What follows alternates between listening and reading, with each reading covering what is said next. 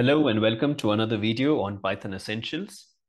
Today we are going to be taking a look at how to obtain the highest common factor between two numbers. And we will have a user-defined function for this purpose. We say def of HCF being the function name. And the two numbers can be our two arguments. So what we could do is create a factor list for the smallest of number one and number two.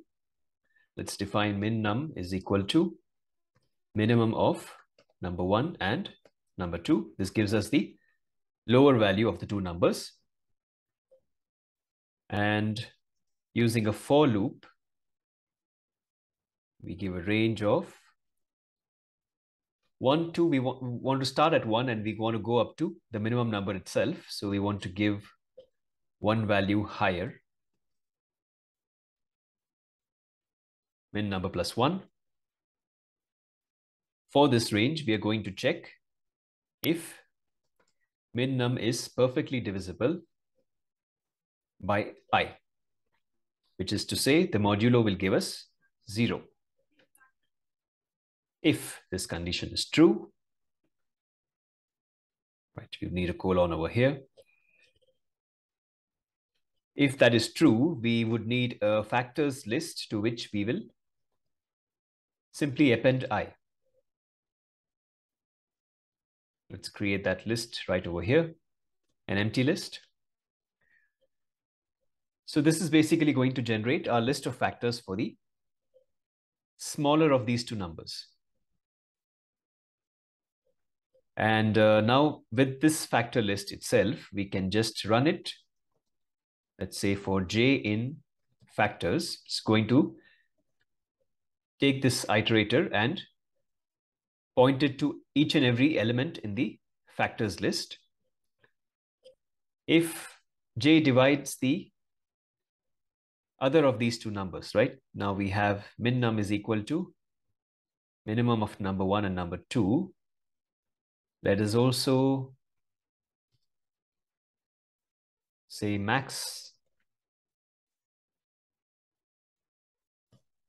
And now talk about the other number. So for j in factors,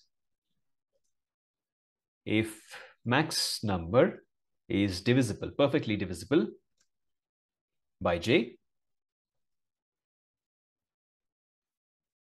we can simply say HCF is equal to j.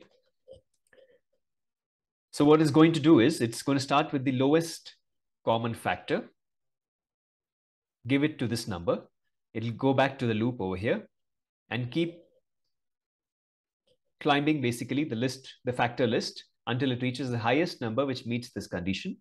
And HCF is going to be replaced each, each time you have a new common factor leading up to finally giving the highest factor all we need to do is return HCF now.